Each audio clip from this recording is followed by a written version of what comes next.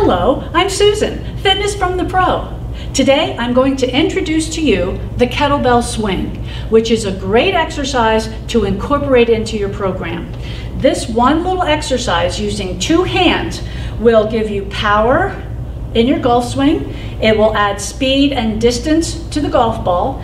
It'll give you core conditioning. It'll give you cardio conditioning with just one exercise. And this is the foundational exercise if you're going to incorporate kettlebells into any routine that you have. Now, I'm going to start off with a lighter kettlebell here just to show you how it is not a shoulder exercise. It, the power all comes from the hips. And it's the pushing of the hips which will raise the kettlebell up. It is not a shoulder exercise, kids. A lot of people think that it is a shoulder exercise. Don't get me wrong. There are some shoulder exercises you can do with the kettlebell, but not this one. This is your foundational exercise with the kettlebell. So we're gonna start off here. I've got a 20 pound kettlebell here. And yeah, I guess I can lift it with both hands.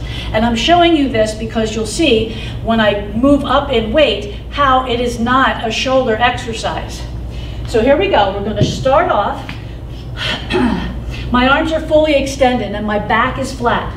My eyes are in alignment with that kettlebell.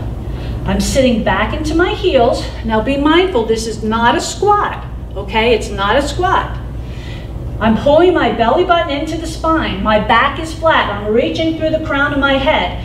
Inhaling here, keeping those abdominals engaged, and I'm bringing it back and pushing up and squeezing the butt cheeks.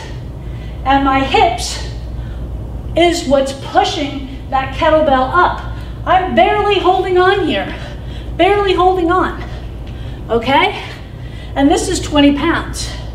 Abs are in, my hips push forward. You'll feel this the next day, let me tell you. It'll work your hamstrings, your butt, your core, your heart, not the shoulders.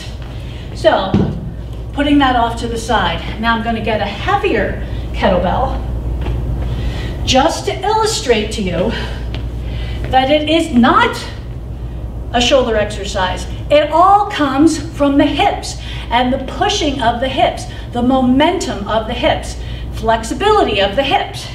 Here it is, 30 pounds. Both hands holding onto it. Maybe I can get it up a little bit, but not really because I'm not strong enough.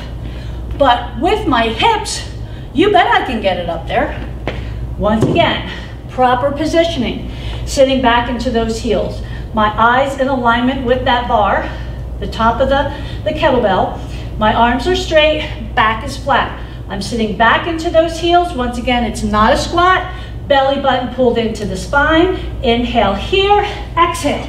Push those hips forward. Squeeze that butt cheek. And look how high I can get that kettlebell. You don't need to bring it all the way up. Just shoulder height. And it's my hips that are pushing the kettlebell up. It's not my arms. I can't do it. You saw I couldn't do it.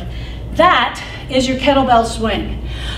I want to thank you for joining me. And don't forget to subscribe to LWCA Fitness on YouTube. Just click on that little circle on the bottom of your screen here.